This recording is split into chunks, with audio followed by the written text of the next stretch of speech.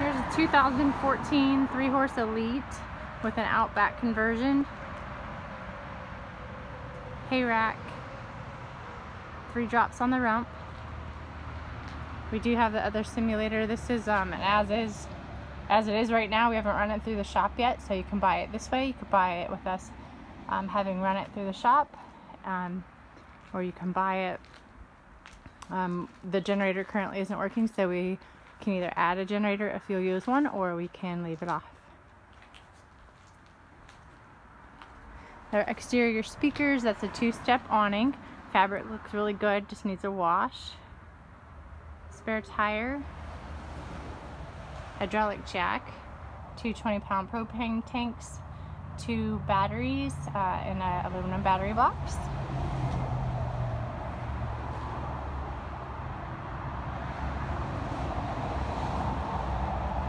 Extra lights on the nose.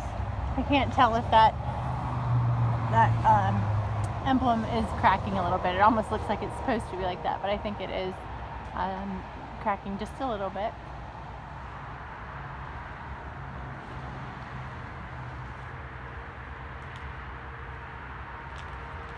Escape door, six foot hay rack, exterior load lights, drops and bars on the head wall.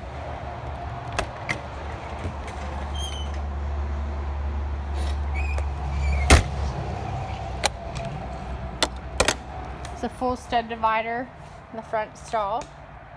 Flow through bars. Ceiling is not insulated. It does have roof vents. Brush bar.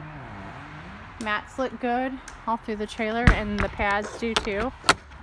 This trailer has two manger doors with two mangers. Some plywood here to have some extra storage space above it.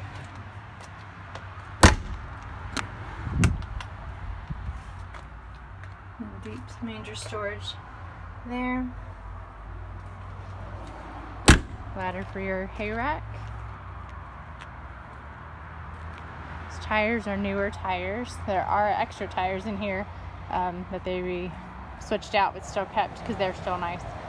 Um, there is currently a kick mark in this rear load door right here and a mark there and also a mark here. Rear load lights.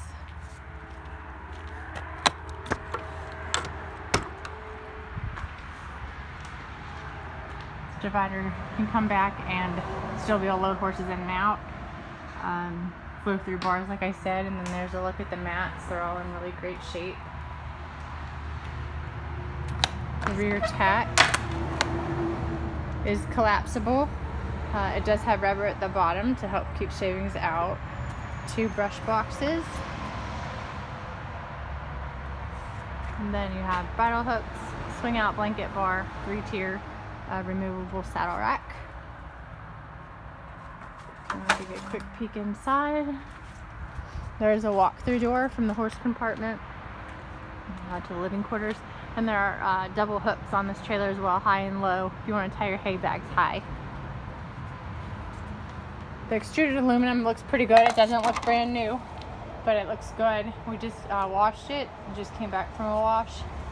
Um, so, looks pretty good. It is a used trailer though, so it does have some marks on it.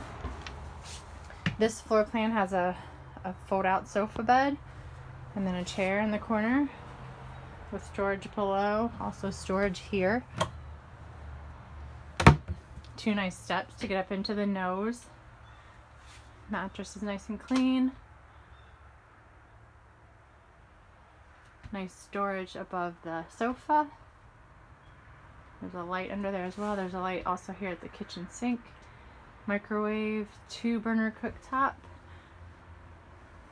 Three drawers and then storage, nice storage below the, stink, the sink too. Two spots, a shelf and a, and a spot on the floor.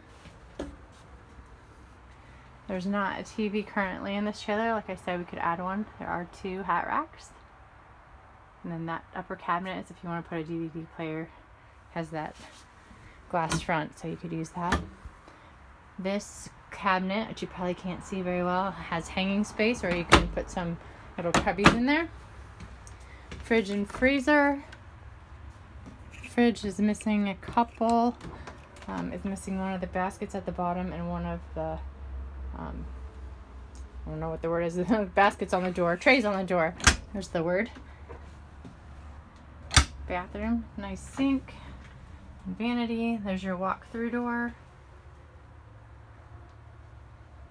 Does have a fan, roof vent. Nice hanging space. this cabinet. It's a full-length cabinet. You could really put some stuff on the bottom and then have your hanging above. There's lots of room in there. There's also a sky dome above the shower. This trailer's been winterized. You see some antifreeze there.